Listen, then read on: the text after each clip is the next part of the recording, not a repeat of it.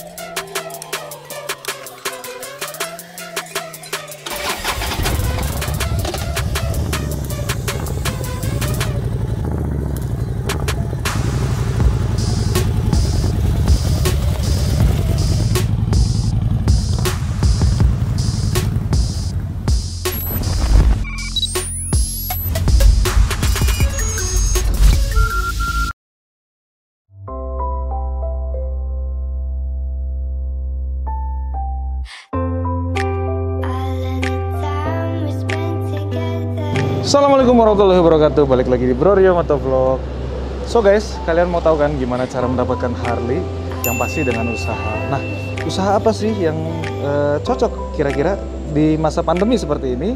Jadi gue mau berbagi pengalaman eh, tentang mungkin tentang usaha yang gue jalanin sekarang. Usaha restoran eh, seputih di Garut. So guys, mau lihat ke dalam? Yuk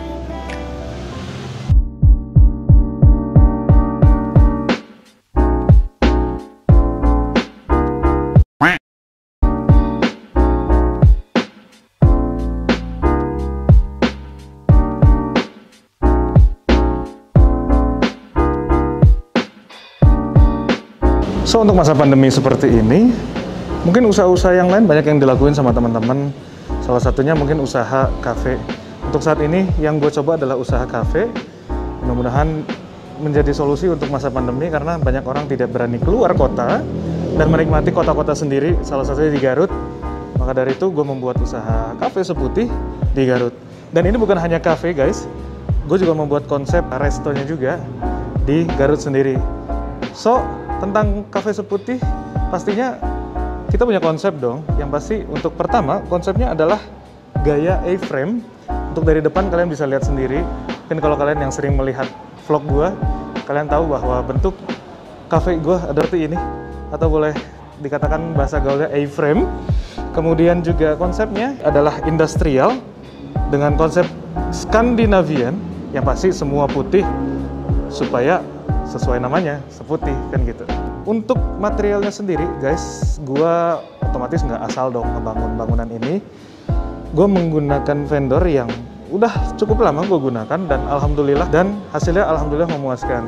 Ownernya gue kenal Pak Yusuf alhamdulillah orangnya juga amanah ya kan?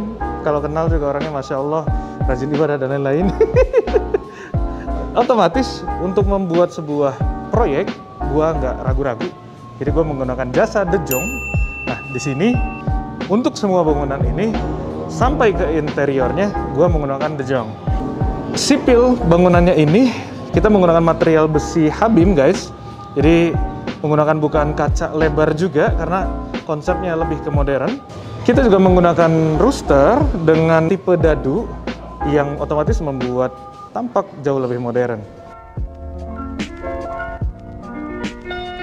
So guys, buat seputih sendiri, gue menggunakan konsep kebanyakan putih ya, karena untuk mengurangi panas juga.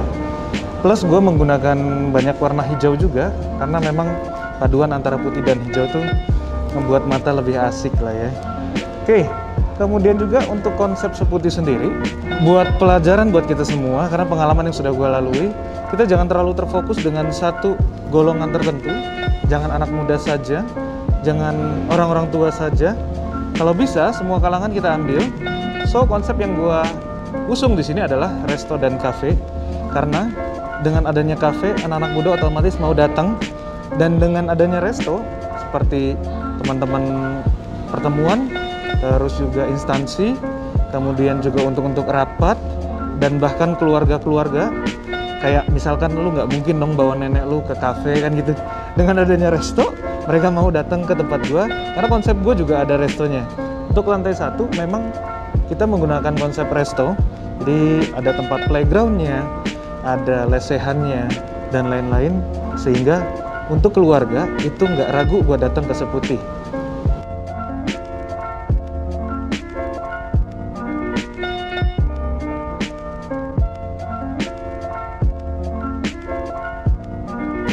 So sebetulnya kalau mau pesan bisa langsung dari kasir, tapi kalau special request lu bisa panggil waiters buat pesan di meja. So buat lantai satu sendiri, area resepsionis lantai satu itu adalah area resto dan dapur utama. Jadi memang untuk dapur gua pakai lantai satu supaya memudahkan untuk mobilitas sana sini. Kemudian juga kasir juga utamanya ada di depan kitchen supaya mobilitas juga tidak terlalu sulit. Untuk malam hari gue juga menggunakan lampu dengan ton hangat. Finishing dinding juga gue membuat dari kampor dasar untuk meningkatkan kealamian dan menampilkan efek dari lampu-lampu tadi.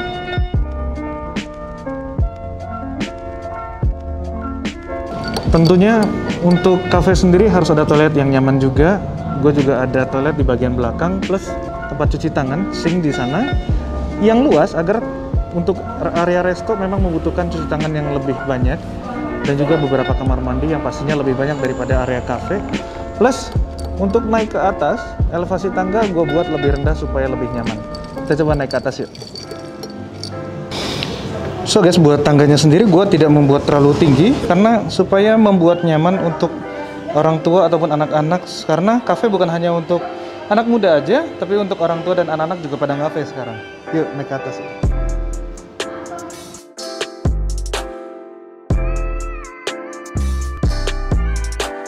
So buat lantai dua sendiri karena memang area cafe, jadi gue punya stage buat live music. Terus juga gue punya lift buat memang ngangkat uh, makanan dari lantai satu karena memang kitchen kita di lantai satu, angkat ke lantai dua ataupun ke lantai tiga. Jadi kita punya lift buat makanan ataupun antar minuman.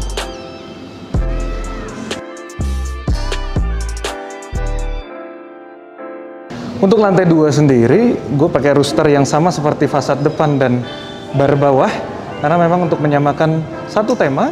Kemudian juga gue juga membuat spot-spot instagramable supaya konsumen-konsumen bisa berfotoria di seputih. Salah satunya ada kaca antara ruang kafe menuju ke musola dan ada ruang sofa menuju keluar.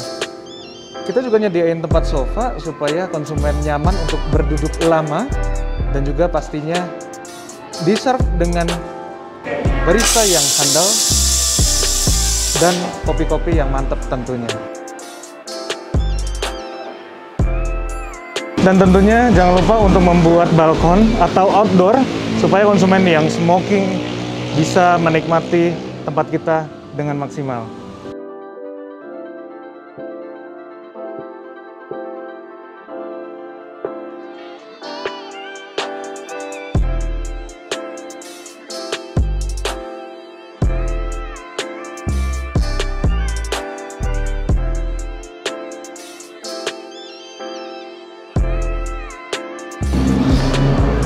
Berbeda dengan lantai 2 yang memang non AC, buat lantai 3 memang gue buat full AC karena memang untuk area meeting. Di sini bisa menampung sampai 20 orang, di luar bisa menampung sampai 30 orang. So, ruang meeting penting karena buat cafe adalah tempat berkumpulnya teman-teman meeting.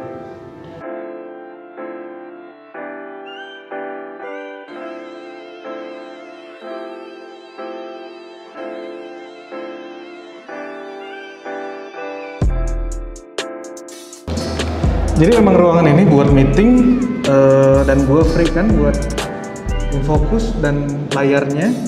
So buat meeting lebih asik dan di ruangan ini juga ada aulanya juga. Jadi bisa digabungkan ruangan meeting dengan aula.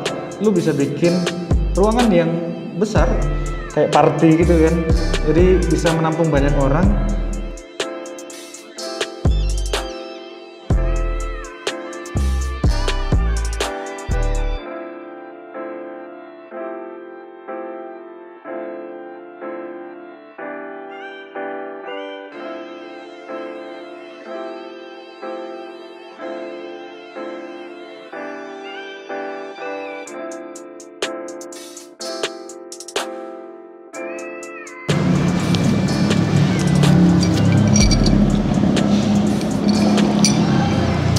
So guys, kalau kalian punya ide dan pengen banget memenuhi ide kalian, tapi terbatas, coba deh hubungin The Jong.